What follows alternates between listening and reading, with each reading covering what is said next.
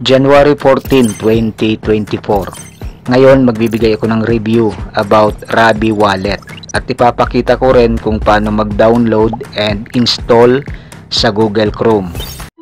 Disclaimer The information provided on this channel is for educational and entertainment purposes only and should not be considered as investment or financial advice.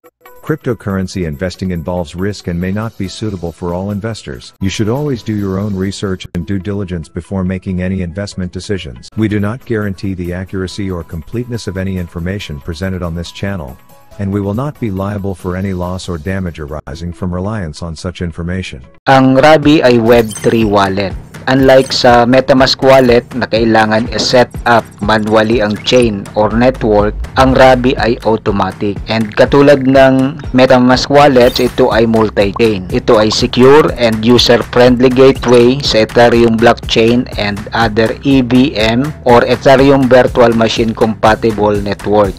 Available ang Rabi sa Google Chrome sa extension and desktop and mobile. Ang official website ng Rabi ay rabi.io. Ang Rabi ay open source at audited din ito ng mga professional security company. Okay, so integrated din sa Rabi ang 129 uh, chains. Okay, so example yung Arbitrum, BNB, and other popular network or chains. Supported din ang mga popular hardware wallet katulad ng Ledger at Trezor. And ang mga institutional wallet katulad ng Amber, Jade Wallet, and also yung mga mobile wallets like MetaMask, Rainbow, and Wallet Connect. Ngayon ipapakita ko kung paano mag-download and install ng Rabi Wallet. Sa website ng Rabi, okay, select natin dito sa download.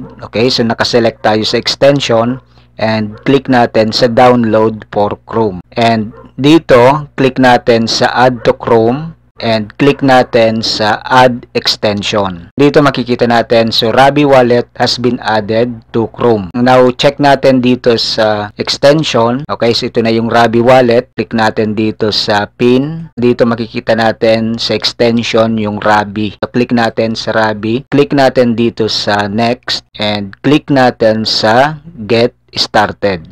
So dito pwede tayo mag-create ng new seed phrase and pwede rin tayo mag-import, pwede rin tayo mag-import ng private key or MetaMask. Now create muna tayo ng new seed phrase and set tayo ng password. Kapag okay na yung password, click natin sa next button and click natin dito show seed phrase. Okay, so ito yung seed phrase para sa Rabi wallet Okay, so hindi natin ito pwede ipakita sa ibang tao. So dapat tayo lang ang nakakaalam ng said phrase na ginagamit natin sa wallet. Okay? So pwede natin i-copy or and then i-save sa secure na file or pwede natin isulat. Okay? Kapag okay na, so click natin dito sa I've saved the phrase.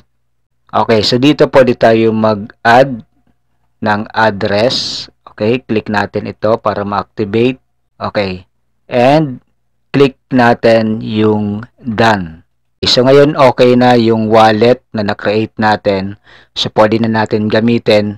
Okay, so dito sa taas sa extension, so click natin sa Rabi. Click natin itong close. So dito makikita natin sa Rabi wallet, itong sa taas, ito yung wallet address and So, pwede natin kopyahin yung wallet address. So, example, gusto natin mag-send ng token or ng coin dito sa Rabi. Makikita rin natin dito yung balance. Dito sa baba, makikita natin yung mga common feature ng isang crypto wallet like swap, send, and receive. Meron din itong NFT and dito makikita natin yung mga transaction. Okay, so gas top up and then yung approvals feedback and pwede natin i-click itong more para sa ibang features ng Rabi like lock wallet. Okay, so kung gusto natin i-lock yung wallet, so click lang natin dito. Okay, so ito nakalock na yung wallet. To unlock the wallet, type natin yung password and click natin yung unlock button. Sa susunod na video na gagawin ko about Rabi wallet, ipapakita ko kung paano mag-send